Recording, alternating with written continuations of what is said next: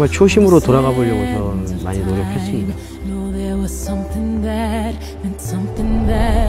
I 진짜 이러고 살라는 거는 처음에 어이가 없었거든요. 근데 이 사람이 무섭더라고요, 진짜.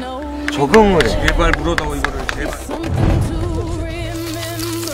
내가 헐벗고 굶주렸던 거. 굉장히 힘들었는데 희한하게 마음속으로 이렇게 사랑, 따뜻함, 소중한 것들이 뭔지, 가치 있는 것들이 뭔지, 나는 그 가운데서 어디쯤에 있는지. 그래서 더, 내가 더 풍부해졌어요.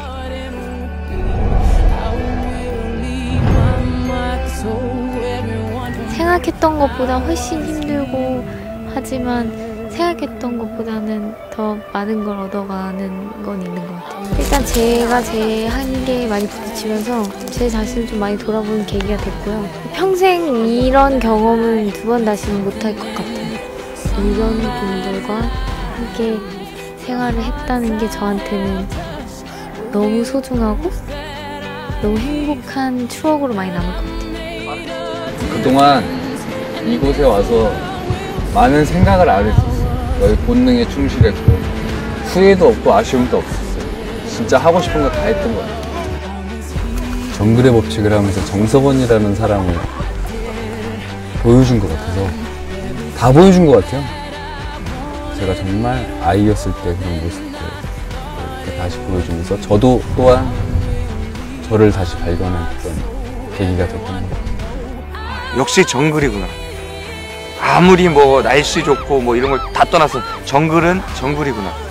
정글이 주는 저희에게 무언의 그냥 메시지 아닐까요? 나를 우습게 보지 마라.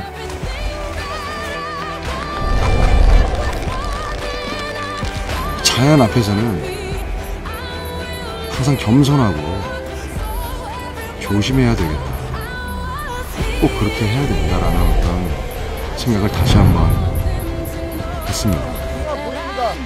지금까지 그 어떤 도전보다도 가장 아름다웠던 뉴질랜드. 그리고 동시에 예기치 않게 다가온 수많은 어려움들. 하지만 이 모든 것이 결국 정글의 법칙만의 묘미 아닐까요?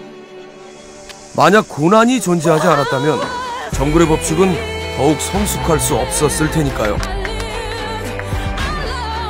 이 뉴질랜드 편은 개인적으로 많이 힘들었어요. 조금 더 극한이었던 것 같아요. 이번에 환경은 좋았지만 우리들의 생활 조건은 이제까지 없었던 극한이 있었어요. 그러니까 뉴질랜드에서 저는 극기 훈련을 하러 온 거예요. 정글의 법칙에서 더 강해지기 위해서. 이걸 통해서 강해진 제 모습이 다음에 또 더 발전된 모습으로 오래 가게 해달라고 기도했습니다.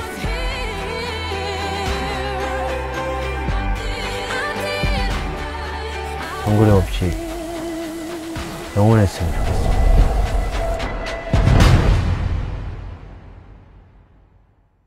다음 주 정글의 법칙인 히말라야 첫 방송 거기 가면 정말 인간의 본성이 나옵니다.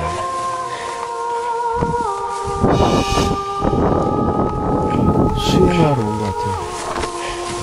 보행의 시작인 것 같아요.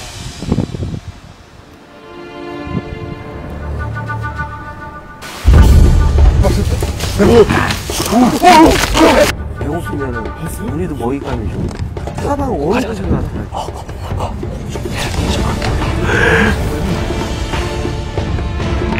지금까지 해봤던 것 중에 최고였던 것 같아요. 진짜 많이 온다. 운동 인간이 그래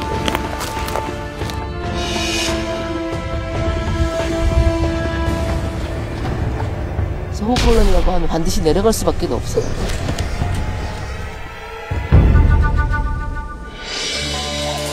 이곳에 제가 언제 와요? 이런 기회 아니면 또 평생 올 수 있을까라는 생각에